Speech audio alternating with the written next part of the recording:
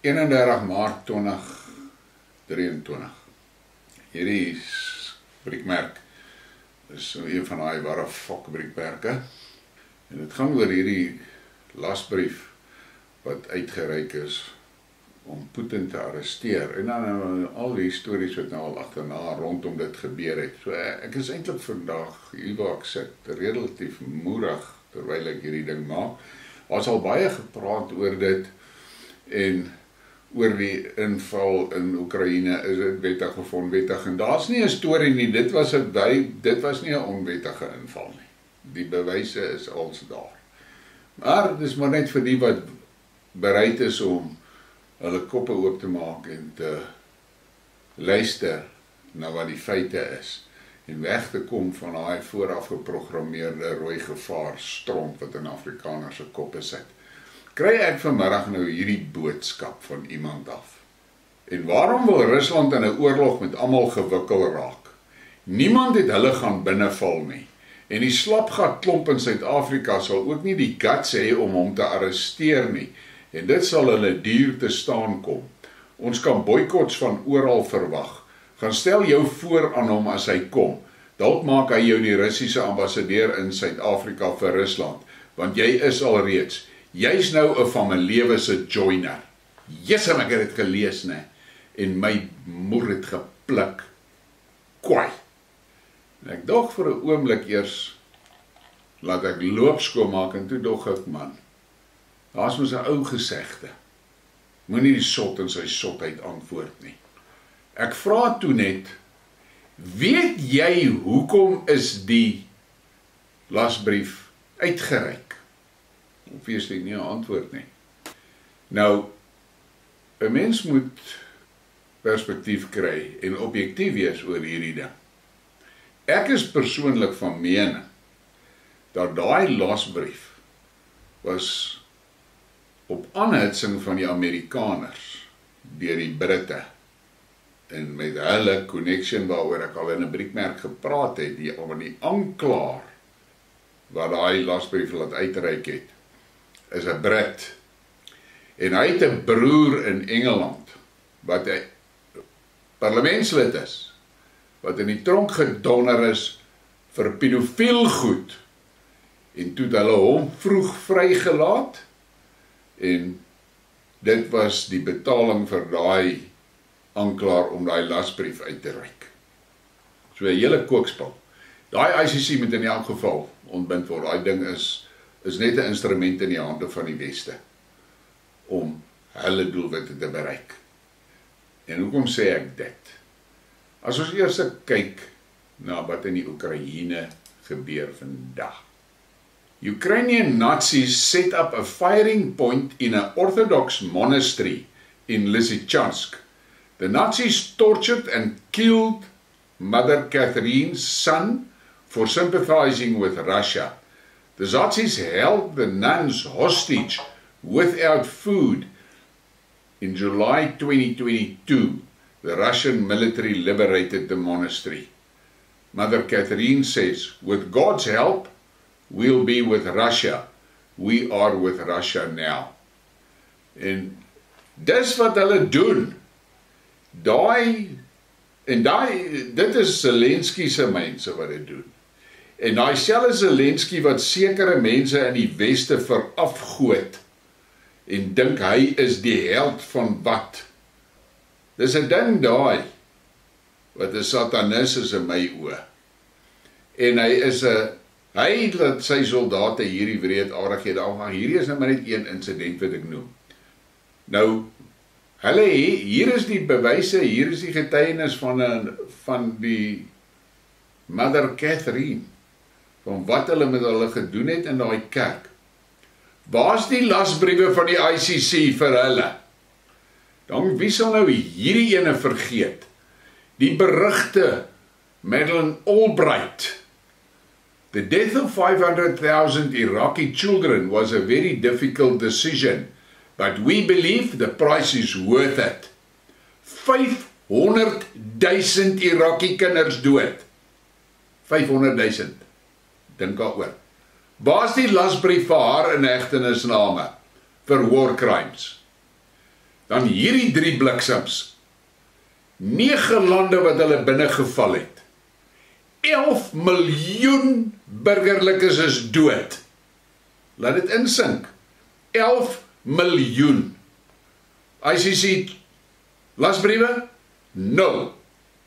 En dan kom hierdie persoon en stuur vir my hierdie sotlike boodskap oor Putin. En toe ek het in my vorige gebriek in een van my skietmaaks het ek hierdie volgende goed gehanteer en ek gaan dit maar net vinnig hier weer noem. Luister na hierdie kak. When a Ukrainian child brings a minimum of $100,000 income when adopted by an American couple, multiply it by 20,000. That is the number of orphans brought from orphanages to Russia and then understand the crying around the, the value of a minimum of up to 2 to 5 billion dollars of lost income for Ukraine.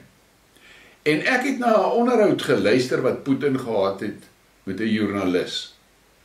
En dit was in November 2021. Toe vra die joernalis vir hom: "Nou hierdie stories in die Donbas, wat gaan jy doen aan dit?"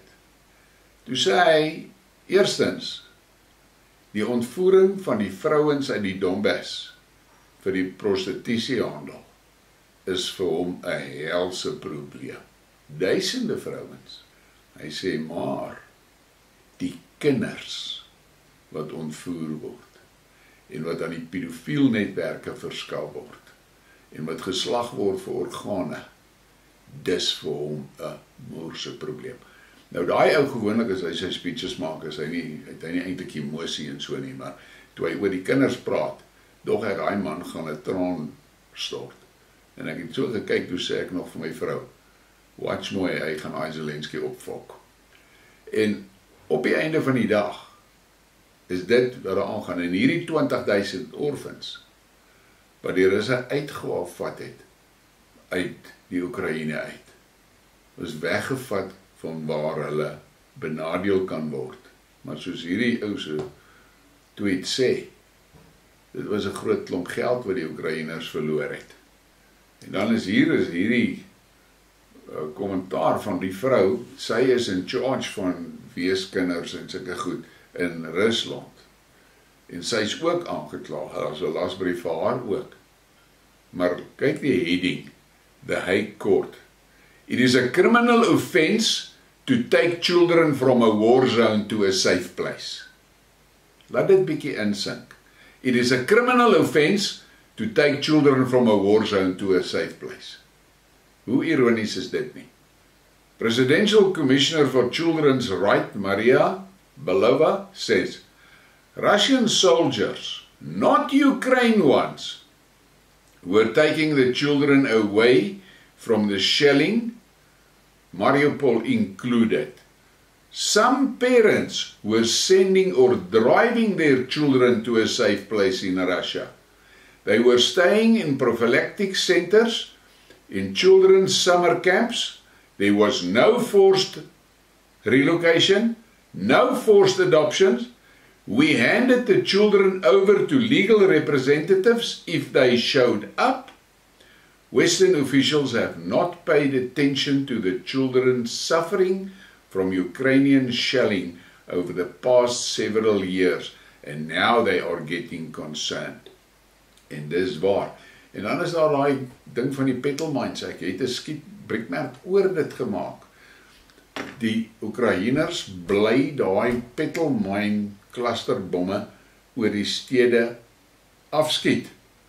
En daai klein plastiese petrol mines val die hele wêreld vol en lê dit in gras en dis nie plante en oral en die kinders tel hy goed op want dit lyk so speelgoed en dan word hulle arms afgeskiet of hulle bene word afgeskiet of hulle word doodgemaak deur daai goed. En die Weste sê nie 'n woord oor dit nie. Ek is hier waar ek sit en hierdie briekmerk maak. So gatvol vir hierdie Afrikaners wat heiliger as alles hulle self voorgee, maar hulle ondersteun daai zatsies in die Oekraïne en hulle is bereid om in beklere en gevegte betrokke te raak met bure en familie oor hulle opinies. Hulle weier om in die feite kyk. En dan kom hulle met hierdie kak uit van Rusland is kommunisties en die fok weet wat alles. Waar het daai mense groot geword? Waar leef hulle? Wat gebruik hulle vir inligting?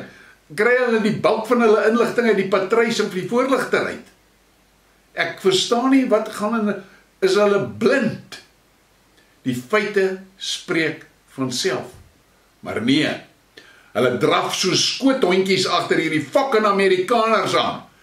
En daai Amerikaners is 'n klomp bose goed en hulle stront kom nou elke dag meer en meer uit. Maar terwyl ek nou hier so sit en my moer strip vir hulle, hulle kak is geboek, hoor.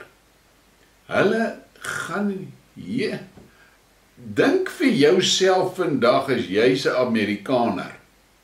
Waar daar lekker rustig, warm, snoesig in jou huis sit of jou woonstel sit en jou kaggeltjie brand en jou yskaste is vol kos en al daai goed terwyl jou regering miljoene mense reg oor die aardbol doodmaak met jou belastinggeld, maar jy voel veilig waar jy is en jy het nou jou geldjies in die bank en alles. Jy sit met 'n probleem. Daai regering van jou het vir jou land skuld gemaak van 33 triljoen dollar. Jy en sewe van jou nageslagte gaan dit nie kan afbetaal kry nie. Maar tot tyd en wyl dit afbetaal is, gaan jy basies nie kos kan bekostig nie.